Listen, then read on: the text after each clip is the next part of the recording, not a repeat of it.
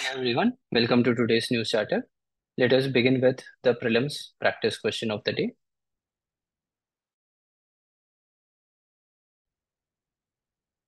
Important statements are provided and these statements are regarding tuberculosis. Tuberculosis is a very big problem in India and India is the India has the highest number of TB patients all over the world. So this question is also very important. The first statement I have already mentioned. India has the highest TB patients. So this is a correct statement. Second one, TB bacterium can remain airborne for hours and can cause infection. This is also correct. In most of the cases, what happens is a bacteria or virus will be airborne for very short period of time. So the time period for infection is very small. But when we talk about tuberculosis, the bacterium can remain active for a longer period of time in the air. So anyone can get affected very easily. So this is also correct. We have two kind of tuberculosis. First one is active, second one is latent. In case of latent tuberculosis, the uh, infection is not contagious. It is non-contagious. So this statement is also correct. So all the three statements are correct in this question. About lithium reserve, lithium is a very critical, very important material or uh, mineral for the development of the country. Lithium is very important because in the recent times, the requirement for semiconductors has increased to a greater extent. So lithium becomes very important for the technological development of the country, economic development of the country, and for the scientific innovative environment also. In India, even though we have lithium reserve in certain states, for example, take a look at this map.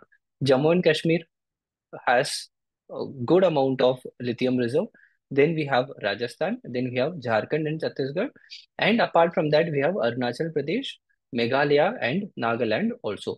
So all these states have lithium reserves.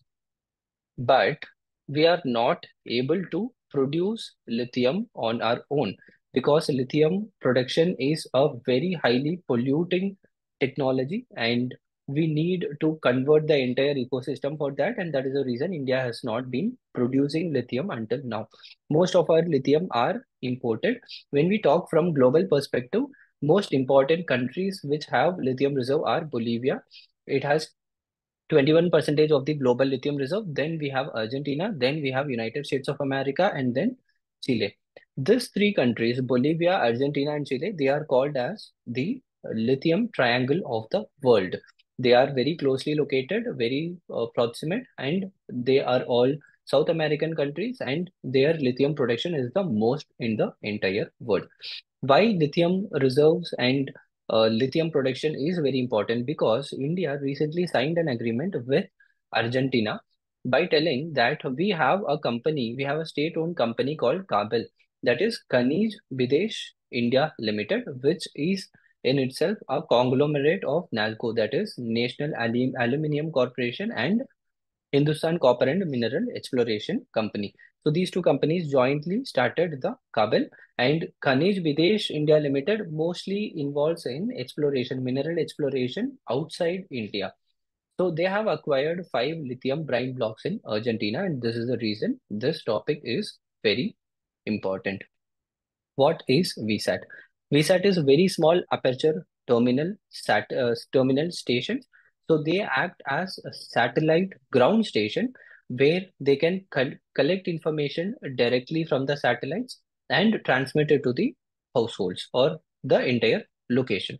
So why VSAT is very important is because there are a lot of regions in the country, especially tribal hilly regions of which have too much of geometrical, uh, I mean, uh, too much of geological difficulties so that we are not able to provide them with information and communication technology it is very difficult to build a, a communication tower or a signal uh, dispensation mechanism in these regions.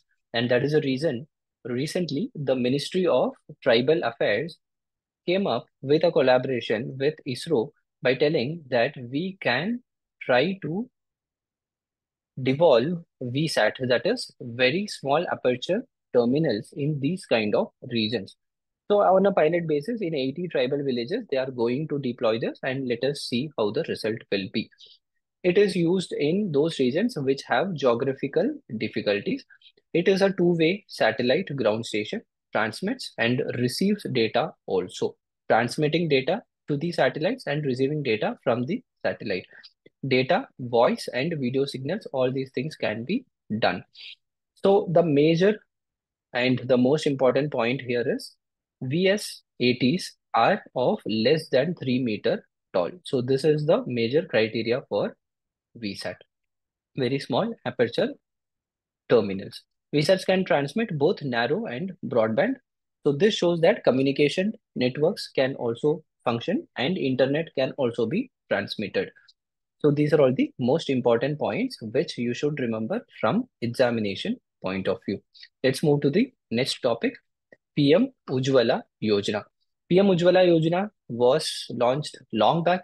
Now at present, we are in the second phase of PM Ujjwala Yojana.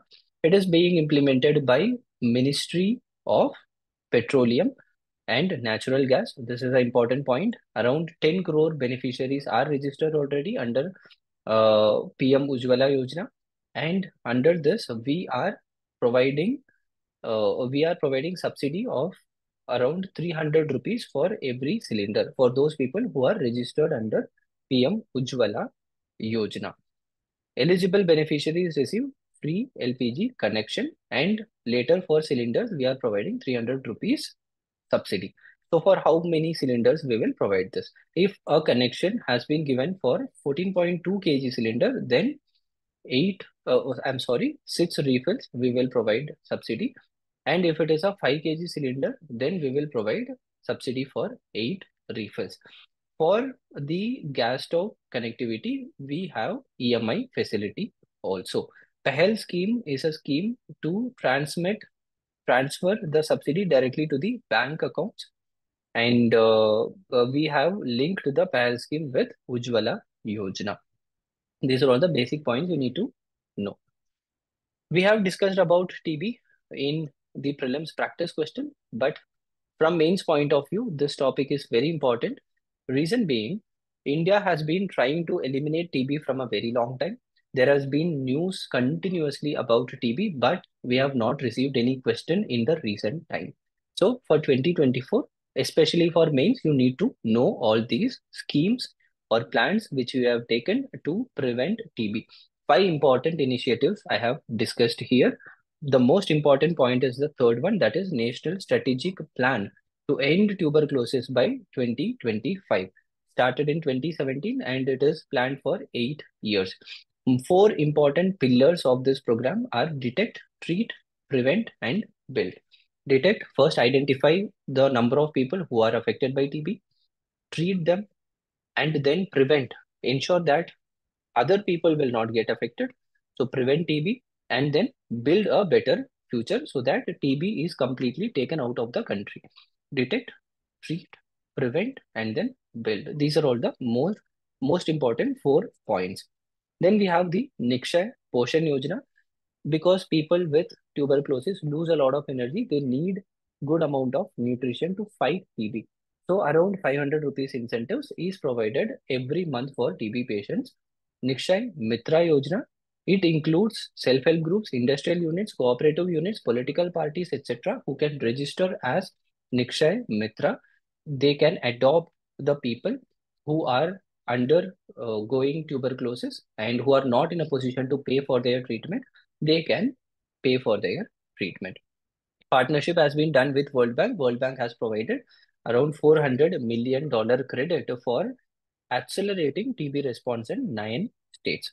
TB Harega, Desh Jitega campaign is a very important campaign. It is a campaign started by the government to ensure that different actors of the society, such as private sector, corporate sector, governments, and uh, inter-ministerial, multiple ministries, all these things, along with the people, will come together and promote awareness about uh, tuberculosis, etc. So these important schemes should be remembered and studied also. Main question of the day, what are the problems with financial contribution to political parties? Suggest measures to overcome these problems.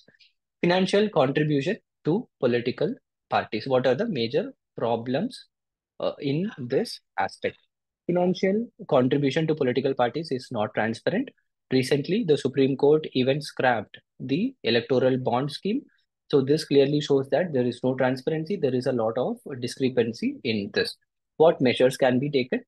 Several measures have already been suggested. The Election Commission of India has already told that we need to publicly fund the political parties. Private funding should not be there. That is one thing. You can also tell that whoever is funding to the political parties, their name and details should be given uh, given out so that everyone will be aware of it. It should be subjected to right to information act. That is another good suggestion. So in this manner, you can come up with suggestions for this question. A very important point which you can use in your mains examination, almost 60% of the funds received by political parties are from unknown sources. It was told by Association of Democratic Reforms. This you can use in your introduction also. One important report which you should remember from prelims point of view, it is closing the women's health gap. Closing women's health gap is a very important report. It is given out by World Economic Forum. So women's health gap is a very big problem because not just in India, you take globally and you try to get the data of health indicators of men and women. The health indicators of women are always less when you compare with men.